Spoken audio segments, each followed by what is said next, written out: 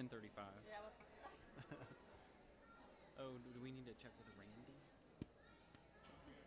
Okay, let's go.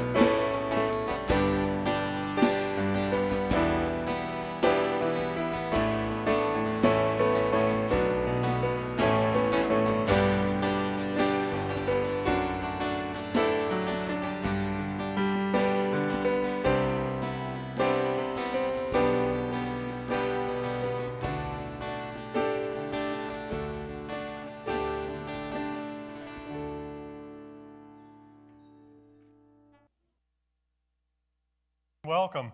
We're so glad you're worshiping with us today. Uh, we pray that this will be a blessing to you and that your worship will bless the Lord too.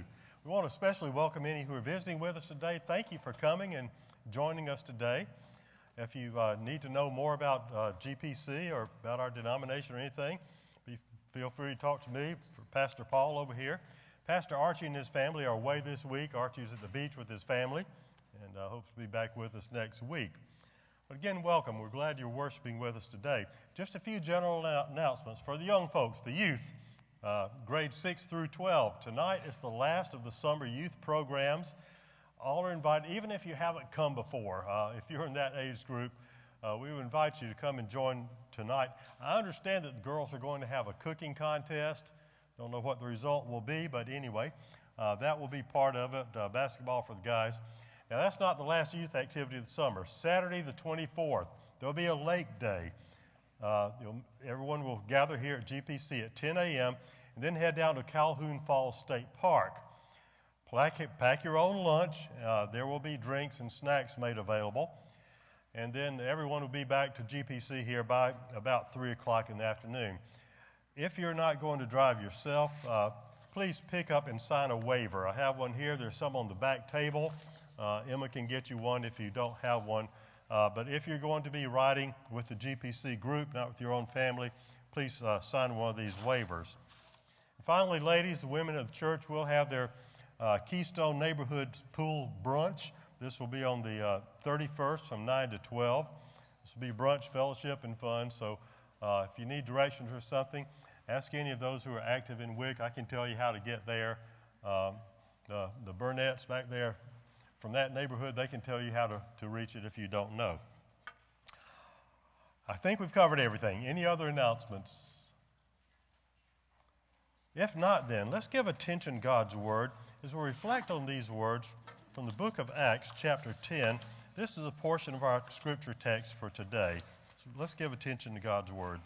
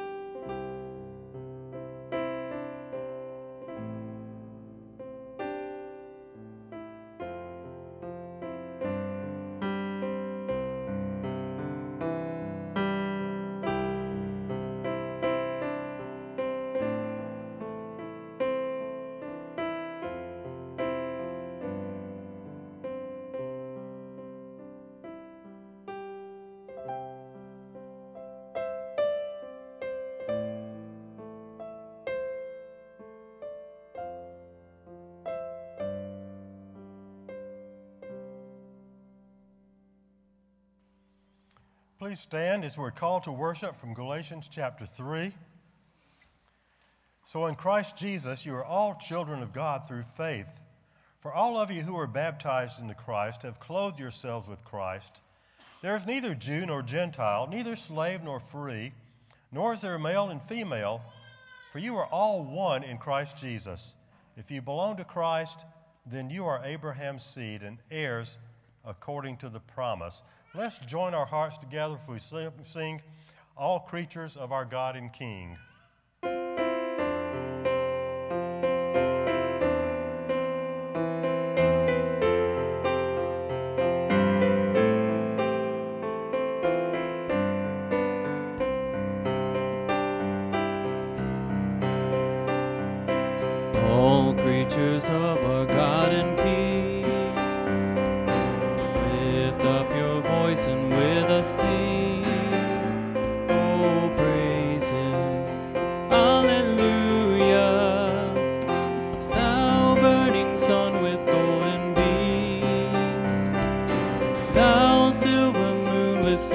Let's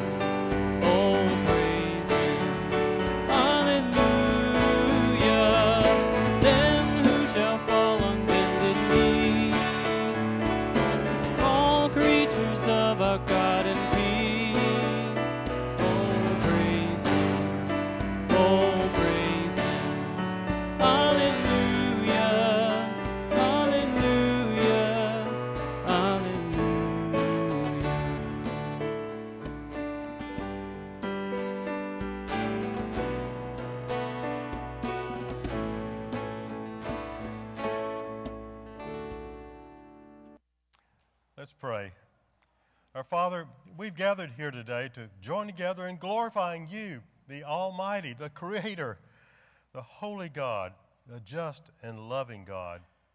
You've called us to yourself and declared that you will be our God and we will be your people. You have made us one in Christ.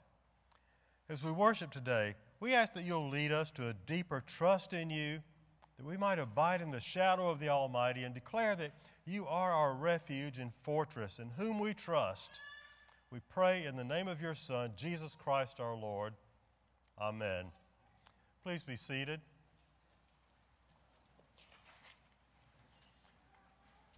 Our call to confession of sin is actually a prayer that comes from the worship source book. And so, as we're called to confess, I'll lead us in this prayer, and then let's join together in a time of silent prayer, confessing individually to God specific sins and seeking that by His grace we might turn in repentance and be forgiven. So let's join our hearts. Let me lead us as we pray. Our Father, forgive us for thinking small thoughts of you and for ignoring your immensity and greatness.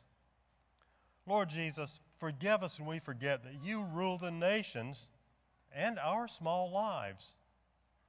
Holy Spirit, we offend you in minimizing your power and squandering your gifts.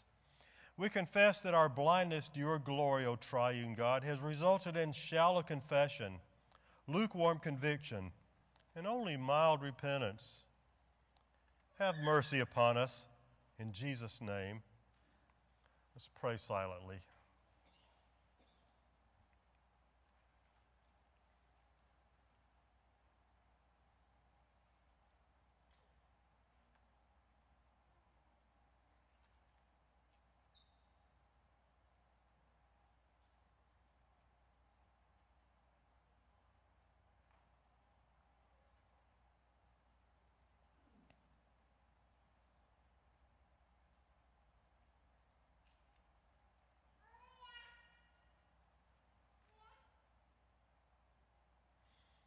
Father, we thank you that by the blood of Jesus Christ, our sins have been forgiven. We thank you, Lord, that He took your wrath upon Himself, your wrath that was due to each of us sinners. And we thank you that by your grace, His righteousness is, is imputed to us, that we might be made together one in Christ. Thank you, Lord, in Jesus' name. Amen. Our words of assurance come in the form of responsive reading from Psalm 103. If you will, please respond. The Lord is merciful and gracious.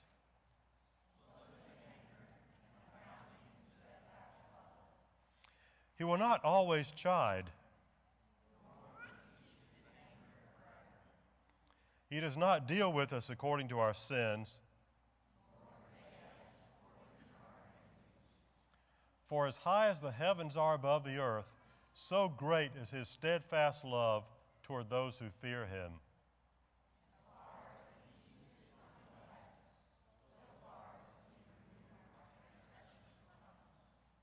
Our hymn of assurance is Grace Unmeasured. Again, let's stand together and sing.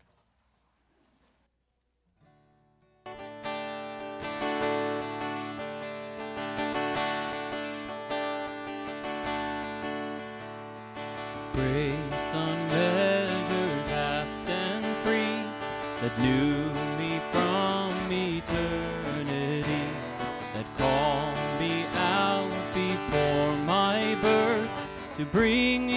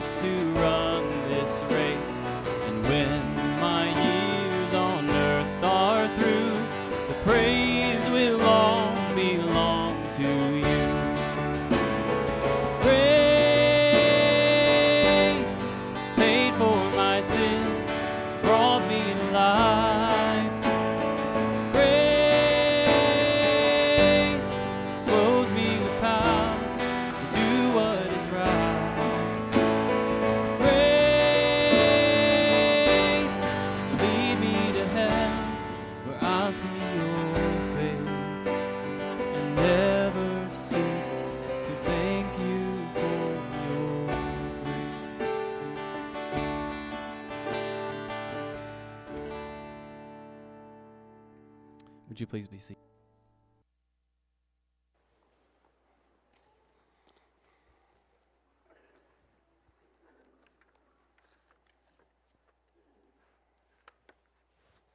This morning, we're called to prayer and informed what to pray for from our passage in Galatians chapter 5, verses 22 to 25. So these words will lead me as I lead all of us in prayer, that we might more and more, every one of us, young and old, be the people that God is calling us to be. Let's pray together. The fruit of the Spirit is love, joy, peace, patience, kindness, goodness, faithfulness, gentleness, and self control. Against such things there is no law. And those who belong to Christ Jesus have crucified the flesh with its passions and desires. And since we live by the Spirit, let us keep in step with the Spirit. Our Father and our God, that would be our simple prayer this morning for Greenwood Presbyterian Church and for your church universal, for all who profess faith in the Lord Jesus. We would pray that we, young and old, would all be characterized by this fruit, by this character of godliness. Lord, would you work in us that every time we gather as a church, and every time your word is read and preached, every time fellowship with the saints is experienced, that those times would be shaping us with this fruit of the Spirit. That we might learn from one another, seeing in others what kindness looks like, what gentleness looks like, learning from others what repentance looks like in the Christian life.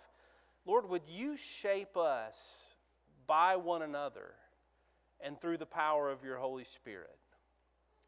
Lord, whether it's Vacation Bible School or our youth group, or our men's prayer group, or our women's Bible studies, our small groups, and of course, our time of worship together corporately. Would you use all of these times throughout every week to be shaping your people into your likeness and into your image? Lord, we would also pray for the saints, not just here, but worldwide those who are fighting for health, those who are fighting for life. Would you be near to them and remind them that you are an ever present help in times of trouble, in times of fear, in times of doubt? Lord, for believers who are suffering from loneliness, from discouragement, and from despair, would you be near to them? Would you bless them that they might feel your nearness, that the gospel would warm their hearts in such a way as only you can minister to your people? And Lord, for those gathered here and throughout the world who profess your name, who are living through financial crisis, uncertainty of employment, change of direction, and not knowing where they might wind up, Lord, would you be near to them? Would you remind them how faithful you have been to your people and how much you can be trusted with our lives? Lord, in all these things, we want to be found to be faithful. We want it to be said of us, Well done, good and faithful servants. But Lord, only you can provide the faith, the repentance, the obedience that is necessary. And we ask for you to do it. We pray for you to do it. In Jesus' name, amen.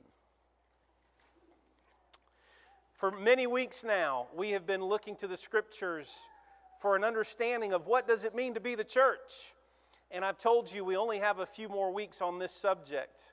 Uh, our hope is in the month of September to turn the page and begin something new together, which means I only have a few more weeks to cover some of the content of the book of Acts and many other individual subjects that you probably have in your mind about the church. And if you don't have them in your mind, that I would hope that you'll have them in your mind.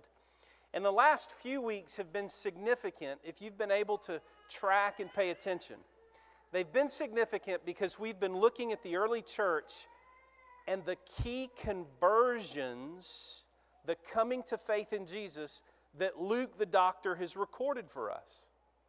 And all of them have been mind blowing. A few weeks ago in Acts chapter 8, we heard of a dark skinned Ethiopian eunuch who all of his life would have been an outsider, shut out from the people of God, only able to get to the outer courts of God for worship.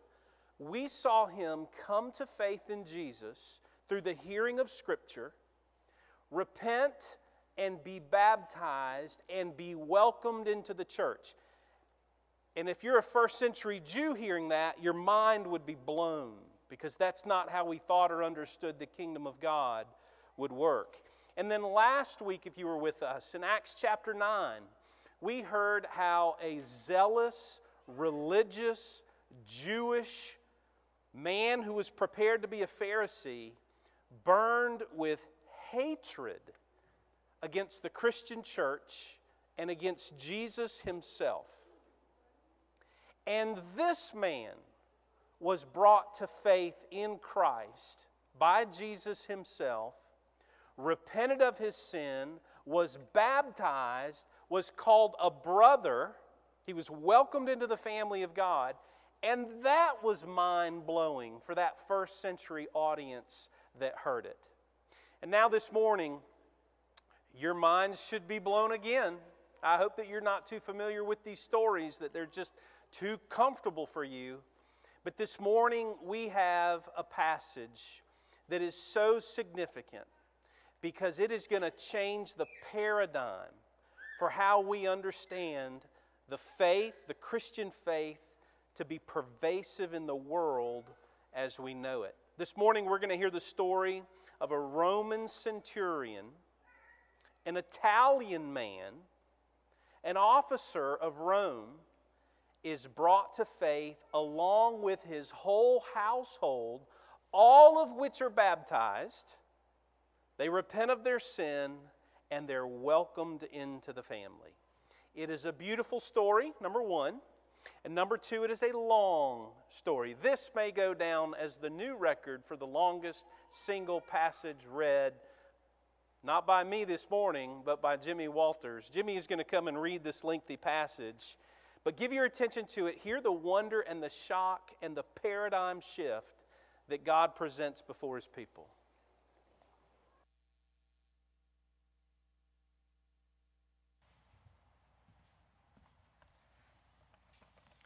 Our text today is the 10th chapter of Acts. If you'd like to read along in your Bible, I'll be reading from the New International Version. Hear the Word of God. At Caesarea, there was a man named Cornelius, a centurion in what was known as the Italian regiment. He and all his family were devout and God fearing. He gave generously to those in need and prayed to God regularly. One day at about three in the afternoon, he had a vision. He distinctly saw an angel of God who came to him and said, Cornelius. Cornelius stared at him in fear. What is it, Lord? he asked. The angel answered, Your prayers and gifts to the poor have come up as memorial offering before God. Now send men to Joppa to bring back a man named Simon who is called Peter. He is staying with Simon the tanner, whose house is by the sea. When the angel who spoke to him had gone, Cornelius called two of his servants and a devout soldier who was one of his attendants. He told them everything that had happened and sent them to Joppa. About noon the following day, as they were on their journey and approaching the city, Peter went up on the roof to pray. He became hungry and wanted something to eat, and while the meal was being prepared, he fell into a trance. He saw heaven opened, and something like a large sheet being let down to the earth by its four corners. It contained all kinds of four footed animals, as well as reptiles of the earth and birds of the air. Then a voice told him, Get up, Peter, kill and eat. Surely not, Lord, Peter replied. I've never eaten anything impure or unclean. The voice spoke to him a second time Do not call anything impure that God has made clean. This happened three times, and immediately the sheep was taken back to heaven. While Peter was wondering about the meaning of the vision, the men sent by Cornelius found out where Simon's house was and stopped at the gate. They called out, asking if Simon, who was known as Peter, was staying there. While Peter was still looking about the vision, the Spirit said to him, Simon, three men are looking for you. So get up and go downstairs. Do not hesitate to go with them, for I have sent them. Peter went down and said to the men, I'm the one you're looking for. Why have you come? The men replied, We have come from Cornelius the centurion. He is a righteous and God fearing man who is respected by all the Jewish people. A holy angel told him to have you come to his house so that he could hear what you have to say. Then Peter invited the men into the house to be his guests. The next day, Peter started out with them, and some of the brothers from Joppa went along. The following day, he arrived in Caesarea. Cornelius was expecting them and had called together his relatives and close friends. As Peter entered the house, Cornelius met him and fell at his feet in reverence. But Peter made him get up. Stand up, he said. I am only a man myself. Talking with him, Peter went inside and found a large gathering of people. He said to them, You are well aware that it is against our law for a Jew to associate with a Gentile or visit him. But God has shown me that I should not call any man impure or unclean. So when I was sent for, I came without raising any objection. May I ask why you sent for me? Cornelius answered, Four days ago, I was in my house praying at this hour at three in the afternoon. Suddenly, a man in shining clothes stood before me and said, Cornelius, God has heard your prayer and remembered your gifts to the poor. Send to Joppa for Simon, who is called Peter. He is a guest in the home of Simon the tanner, who lives by the sea. So I sent for you immediately, and it was good of you to come. Now, we are all here in the presence of God to listen to everything the Lord has commanded you to tell us. Then Peter began to speak. I now realize how true it is that God does not show favoritism, but accepts men from every nation who fear him and do what is right. You know the message of God sent to the people of Israel, telling the good news of peace through Jesus Christ, who is Lord of all.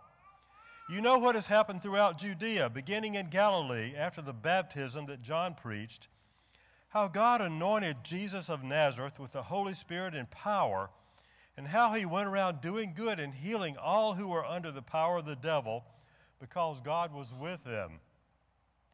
We are witnesses of everything he did in the country of the Jews and in Jerusalem. They killed him by hanging him on a tree, but God raised him from the dead on the third day and caused him to be seen. He was not seen by all the people, but by witnesses whom God had already chosen, by us who ate and drank with him after he rose from the dead. He commanded us to preach to the people and to testify that he is the one whom God anointed, appointed as judge of the living and the dead. All the prophets testify about him that everyone who believes in him receives forgiveness of sins through his name. While Peter was still speaking these words, the Holy Spirit came on all who heard the message. The circumcised believers who had come with Peter were astonished that the gift of the Holy Spirit had been poured out even on the Gentiles, for they heard them speaking in tongues and praising God. Then Peter said, can anyone keep these people from being baptized with water? They have received the Holy Spirit just as we have. So he ordered that they be baptized in the name of Jesus Christ. Then they asked Peter to stay with them for a few days. Father, you have spoken through your word. May we take these words, hide them in our hearts, and apply them to our lives, that you might be glorified in us through Christ our Lord. Amen. So I told you it was a long passage. And not only is it a long passage, but you noticed, hopefully, the details are told twice. Twice within the same passage, Luke, the author, the medical doctor, the man of precision and caution and detail, twice in the same passage, he's outlining the content of what has happened. Now, if you have your Bible open and you look at uh, Acts chapter 11, the very next chapter, the same story is told yet again in great detail. So, as Sinclair Ferguson says on this passage, what is going on here? Is Luke just a really bad and boring storyteller that he doesn't realize it's not a good idea to say the same thing over and over again? Or is what happens in this passage so important and so significant to understanding Jesus in the gospel that Luke is using, this is what Sinclair Ferguson says, his first century highlighter to underscore the importance of this event in redemptive history. And of course, that's what it is. Luke has something he knows is so profound, he wants it to be thoroughly understood and thoroughly believed. And so, for the next few minutes, this is my humble and simple effort to try to offer you the details out of that long passage that are given to us numerous times. Even elsewhere in Scripture, this is recounted for us. But I'll start in a silly way. So, I'm a sucker for a good infomercial. You know what an infomercial is. Kids, you know what an infomercial is. It's when you're watching TV and somebody is trying to sell a product to you and they just make it too good to be true, right? Uh, through the years, I have been a sucker for a number of things. And the line that always gets me is, but wait, there's more. It just gets better. And as you're watching this, you're like, it would be wrong not to purchase this, right? You get two of them now and with free shipping. And so in my household, I have I've owned the Magic Bullet, two of them actually, the Sham Wow, the Space Bags, and I think I bought three Miracle Blade kits, Miracle Blade sets. Those are all things some of you remember seeing advertised through the years. There's something about the, but wait, there's more. It just gets better that, that perks my attention and my interest. And I've got to say, those words are really appropriate here. If you're paying attention to what's happened in the gospel, what's happened with Luke's recording of the works of the apostles and the Holy Spirit on earth. This morning is that, but wait, there's more. It gets even better. The good news gets even better this morning. And so, for the next few minutes, I want to try to show that to you, reveal it to you if you've not seen it. And that good news, it begins with an increased menu. Our menus change with what happens in this text. Do you realize that? You and I are no longer bound to an Old Testament dietary code. That if we were worshipers of Yahweh prior to this event, we would have a sense of obligation. Your 4th of July barbecue would have been a whole lot different, and so would have mine.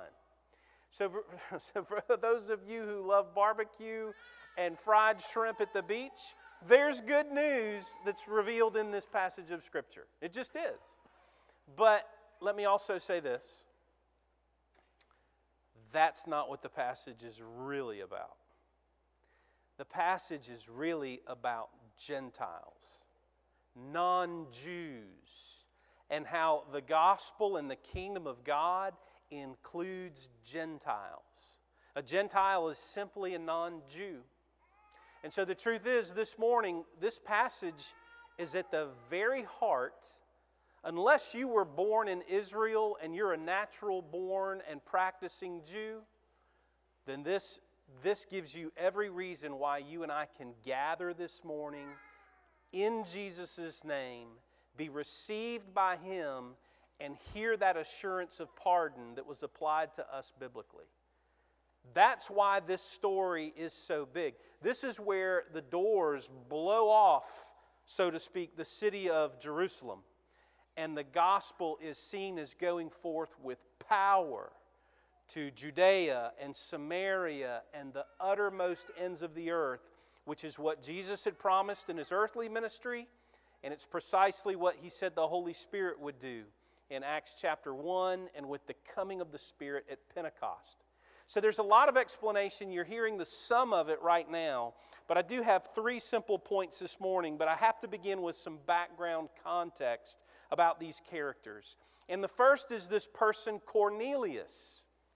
Now, that's a unique name, an unusual name. Uh, this week I realized I've never known a person named Cornelius. I've known of people. I guess there was Cornelius Van Til, for those who know of that theologian. Of course, there was Yukon Cornelius, for those who remember that Christmas cartoon from way back. Cornelius is just not much of a popular name, and yet he is right at the center of redemptive history. He was a Roman military officer. The text says he was a centurion. That means he was trusted and respected and was given the charge of at least a hundred men. He likely had more responsibilities than that. The text also says of Cornelius that he was a faithful God-fearer. He was a man of prayer, and he was a faithful alms giver. You might remember we heard about alms several weeks ago.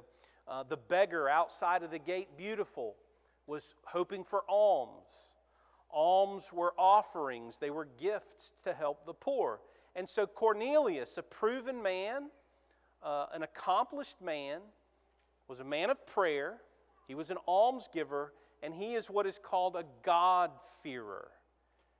He knew that there was a supreme being, and he worshiped him as best he knew how. But the last thing I'll say about Cornelius is but he was a Gentile. He was an outsider. He would have been welcomed into the outside courts for worship, but not in the inner courts. Like the eunuch, he would have been pushed out, not fully accepted in. And then our second character in the story is, of course, Peter. We've heard much of Peter throughout this series, back in the Gospels and now in the book of Acts. Peter was a disciple and now is an apostle. And Peter has had his highs and he has had his lows. But in Acts chapter 9, the second part of Acts 9, which we did not hear from last week when we focused on Saul, he heals a paralyzed man and he raises Dorcas, Tabitha, from the dead. He is demonstrating the power of Jesus at work through him proving himself to be an apostle. And so, if you wondered why Cornelius and his household fell down before Peter when he walked in the room, it's likely because the reputation of Peter is, is known. He just raised somebody from the dead, he healed a paralyzed man. There's something special about this man. But of course, you remember Peter's response to, to them bowing to him. He said, Get up, I'm just a man. Right? We like it when people recognize who we are as if we're significant. Peter reminds us, You're just a man. You're just a person. Stand on your feet. Don't bow to me, Peter says. And then the third background context that is essential to understand what is at work here is quite simply this it's the Jew Gentile relationship. How those two people groups interacted with each other and why they did what they did and that is that the relationship between Jews and Gentiles was a relationship that was fenced. it was fenced. Okay, what do I mean by that? What do you do with a fence? You put fences around things you love, you put fences around things you need to protect, you put fences around things that are important, right? So this week, a friend of mine bought a really nice grill. It's actually a big green egg. He and I went. I helped him purchase it. I helped him move it because that's a very big, heavy object. We put it down in his backyard, and his first thought was, somebody's going to try to steal this. He didn't have a fence. So I won't tell you where he lives so that you don't go try to steal it.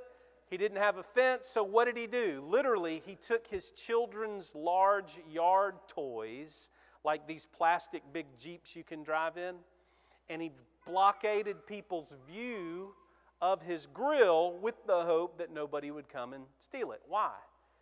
Because he just paid a lot of money for that thing. He loves that thing, so therefore he fenced that thing. It was important.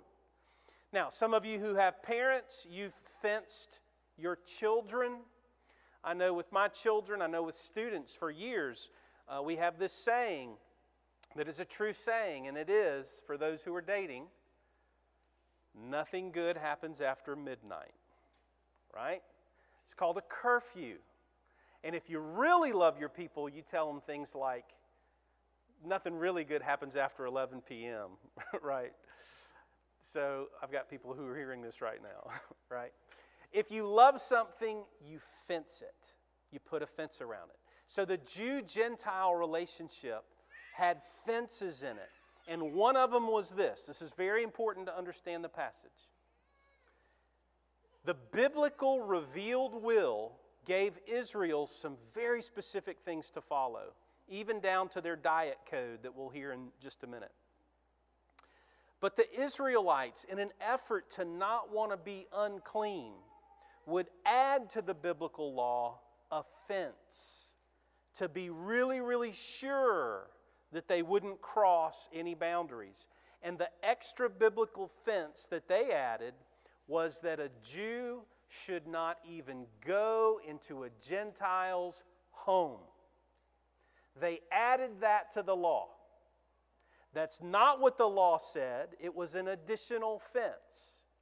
Now, why, think about this, why would they not want to go into the home of a Gentile?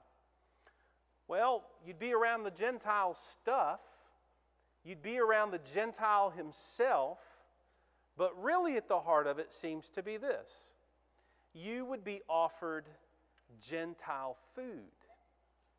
Because this is a culture of hospitality.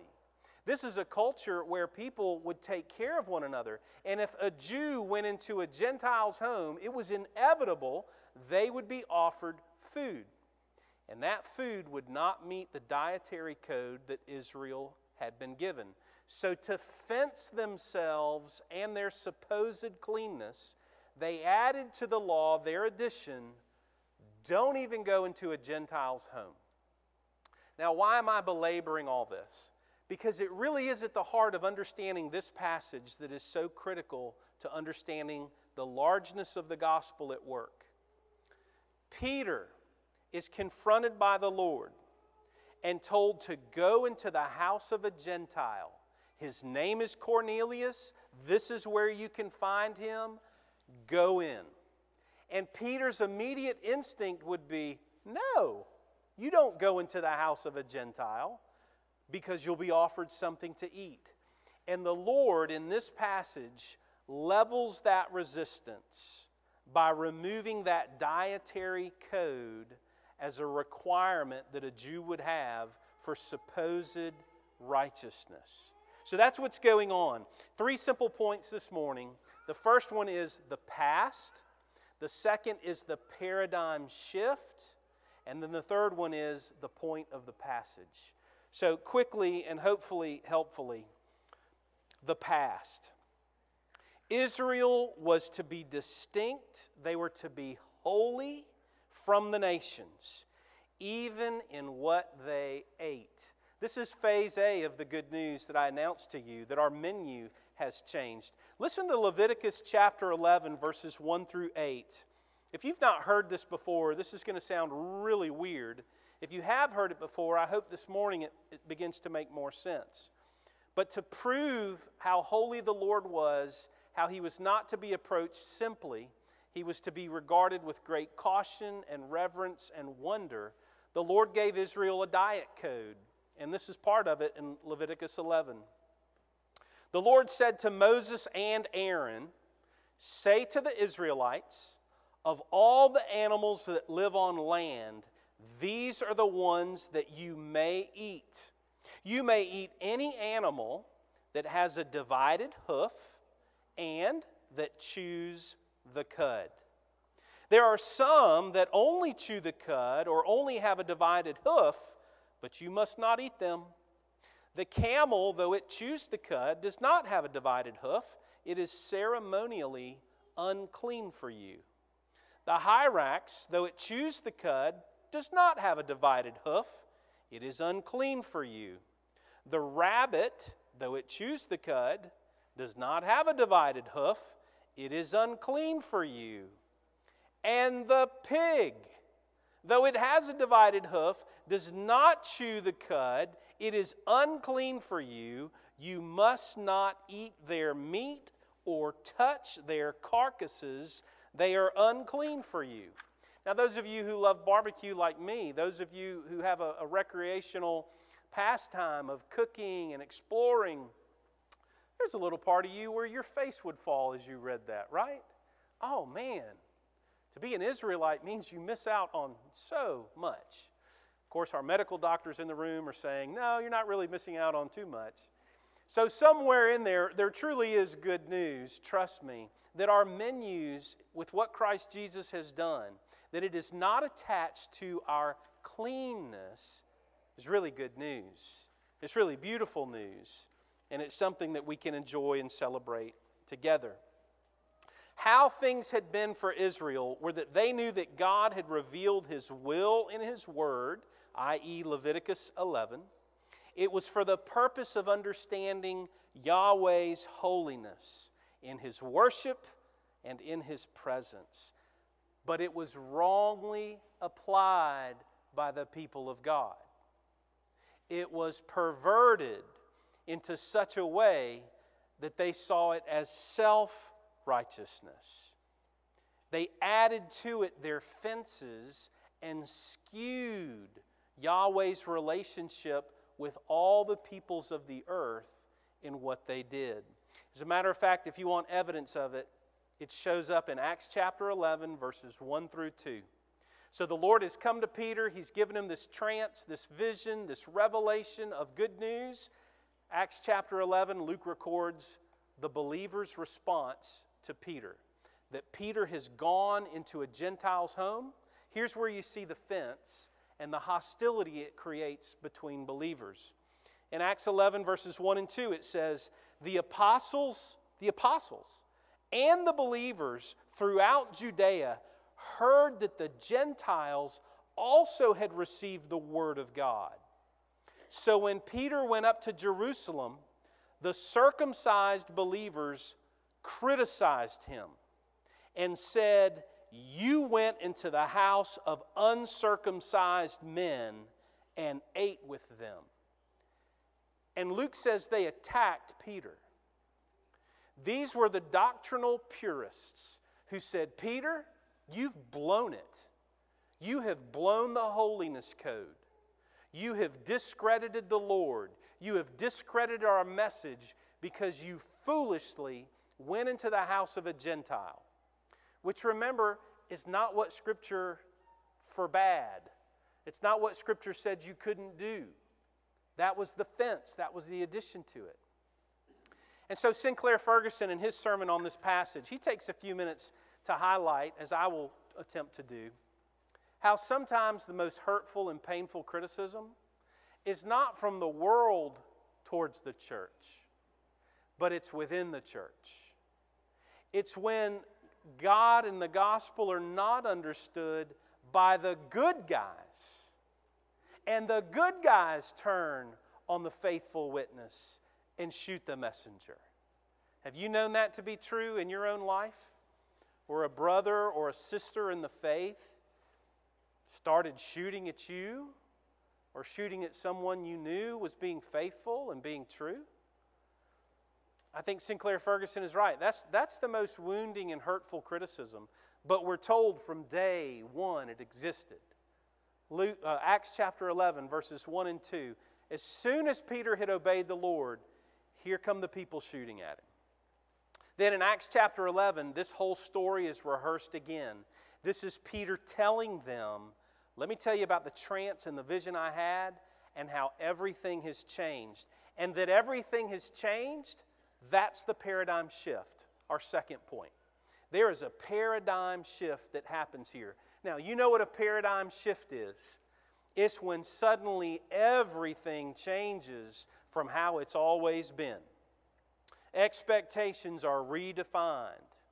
Uh, I know my children have lived through a paradigm shift. The closest thing I can use to explain it is in, in our community where we live, once you finish seventh grade, you leave the elementary school for good.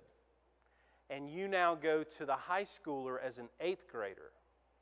And now, suddenly, what happens for those of you who've lived through this? It's a paradigm shift. There are new teachers, there are new classes, there are new hallways, there are new rules, there's new expectations. They treat you more like a, a young adult. That's a paradigm shift. Suddenly, everything you knew as a rhythm and way of life is, is redefined.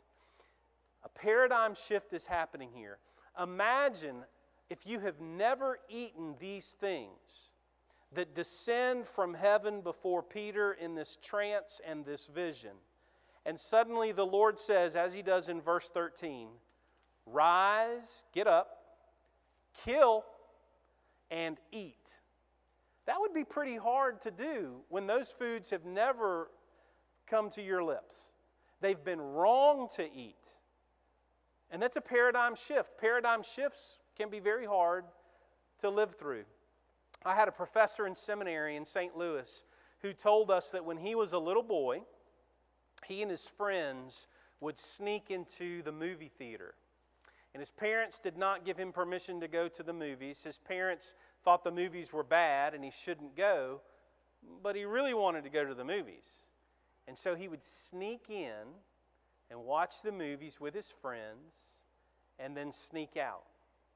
He told us, and he was an elderly man when he said this, he said, Men, I can't go into the movie theater today and smell the popcorn without feeling guilty and like I'm doing something I shouldn't be doing. Right? So if you're not you if, if something's always been wrong and suddenly it's right, it's okay and it's good, that can be hard to clear that hurdle, right? Absolutely. We talked through this in premarital counseling, by the way. I talk to those who get married, and, and we talk about look, honeymoon's coming. And if you've fought the good fight and you've tried to be faithful to get to this point, you're going to have a paradigm shift to live through. Because what has been untouchable, undoable, off limits all of your life, suddenly the Lord smiles on it because it's in its proper context. And that can be a paradigm shift for people, right? Some of you have lived through that. And it's a joyous paradigm shift, don't get me wrong, but it's a paradigm shift. It's a hurdle that you cross, and it's like, is this okay? So here's Peter in a trance with a vision. And of all things, the Lord has, it says a sheet. Some translations say a sail. It's trying to capture that image of, of this big piece of fabric. I call it a tablecloth. It sounds like a tablecloth to me. And it descends from heaven from the four corners, and it's filled with all these animals that were understood to be unclean. And the Lord says, Peter, get up, kill and eat. And Peter says, No, no, no, not me. Three times the Lord says, Peter, get up, kill, and eat. Three times Peter says no to the Lord. So if you're wondering if this is a hard hurdle for Peter to clear, It really is. The evidence is there. It, everything about it feels wrong to him. And yet the Lord is saying, no, those boundaries, they're gone.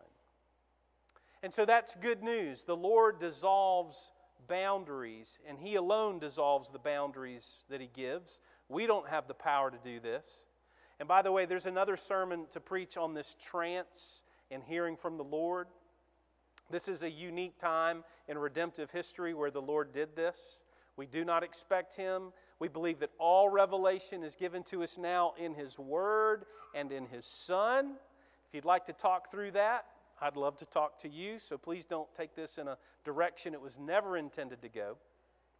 But this specific message that He has for us to understand first, it's about the change of the diet code.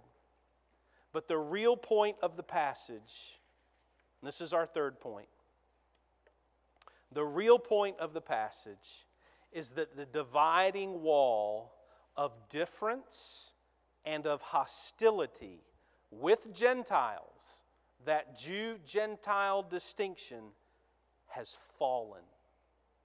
It is no more.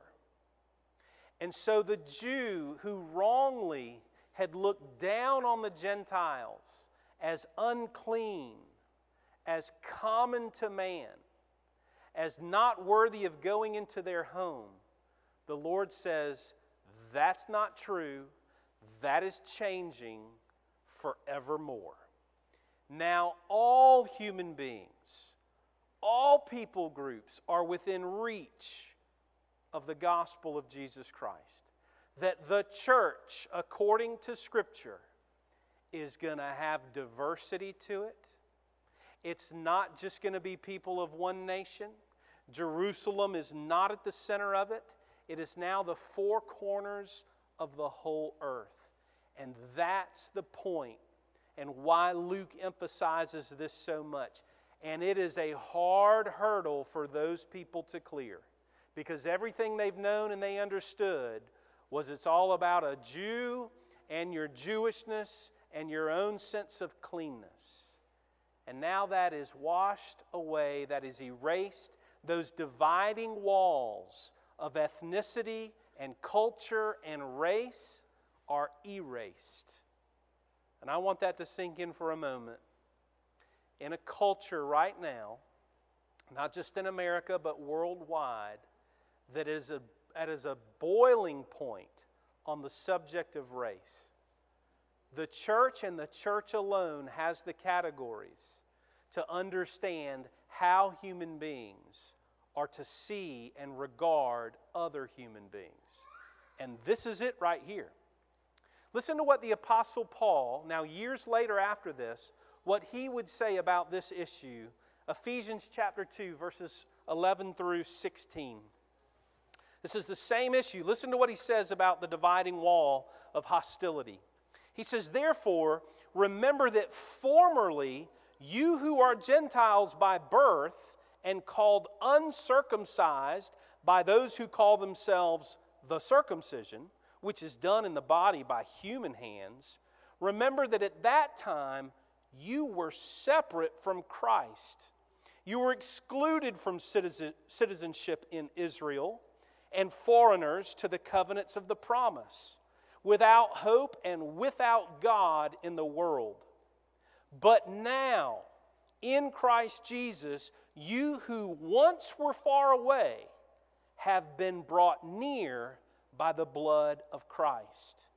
For he himself is our peace, who has made the two groups, Jew and Gentile, one, and has destroyed the barrier, the dividing wall of hostility, by setting aside in his flesh the law with the, its commands and regulations. His purpose was to create in himself one new humanity out of the two, thus making peace, and in one body to reconcile both of them to God through the cross, by which he put to death their hostility. That's the Apostle Paul, the religious zealot, trained to be a Pharisee, hating the church, hating the name of Jesus, persecuting the church. And now he's converted, scales have fallen from his eyes, and he understands there is no distinction between Jew and Gentile. Jesus has made all of humanity one.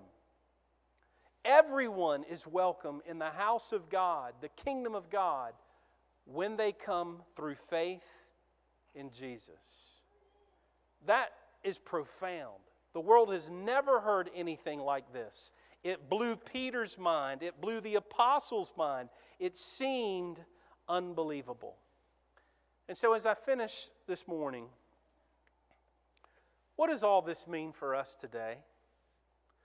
That's a lot of words. That's a lot of content. That's a lot of history. What does it all mean for our lives in Greenwood, South Carolina, and beyond? Well, I think it means this there is no unlovable, there is no unredeemable, there is no unwinnable person to the kingdom of God. There is no one unsavable because they are from the wrong side of town, or they're from the other side of the railroad tracks, or they're not educated enough, or because they don't look or sound or act the right way. They don't live up to our customs, our practices, our traditions, our way of seeing things.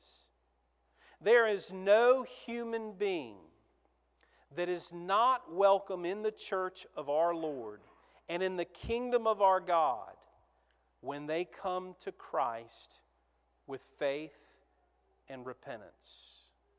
We must not mistake or misunderstand our, uh, or underestimate the power of the gospel in the lives of people. God has God can and God will call any person out of any background, out of any sin, out of any point of view, out of any perversion, out of any confusion, to bend their knee to the person of Christ. He never leaves us as we were, but says, such were some of you, but you were washed, you were cleansed, you were sanctified, you were made holy by the blood and power of Jesus. That's the gospel. And that is what it means to be his church. We regard all men and all women, all children of all people groups through a lens of the gospel. The dividing walls of hostility, of one people group thinking they're better than another, those are all abolished, they're erased forever. And so the church sees the whole earth as a garden that belongs to God and a garden that should bear fruit to the glory of God. And in all four corners of this garden, this earth, He is producing fruit. And he calls his church to go forth and conquer by preaching the gospel, by making known what Jesus has done for sinners.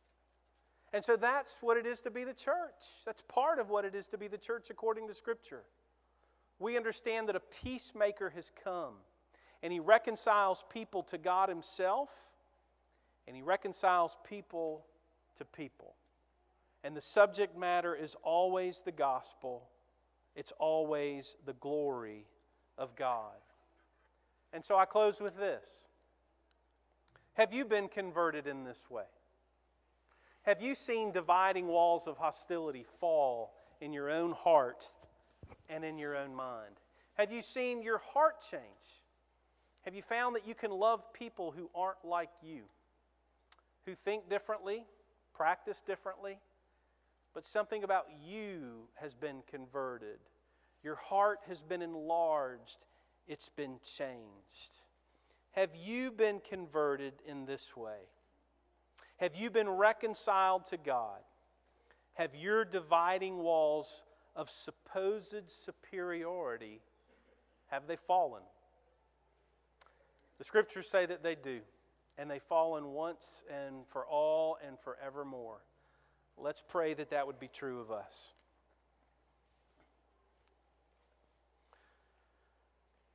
Lord, we thank you for the beauty of what we've heard, the paradigm shift that's changed things forever. That now the church is diverse forever. Now the boldness to preach the gospel is unhindered to the four corners of the earth. Lord, would you make us a church that financially supports that bold preaching in the earth? And maybe even sends people to do that preaching in all the earth. And for our missionaries who have gone and who are going, would you bless them in their going? Even encourage them by this reminder of how the gospel is unhindered in its work in your earth. Lord, encourage us as we see what Jesus has done for us that not only are our menus enlarged, but our love for people is enlarged. Would you do that? Would you help us to trust Him more and more, that we might be a faithful church in Christ Jesus? It's in His name we pray. Amen. Please stand and sing with us. Tis so sweet to trust in Jesus.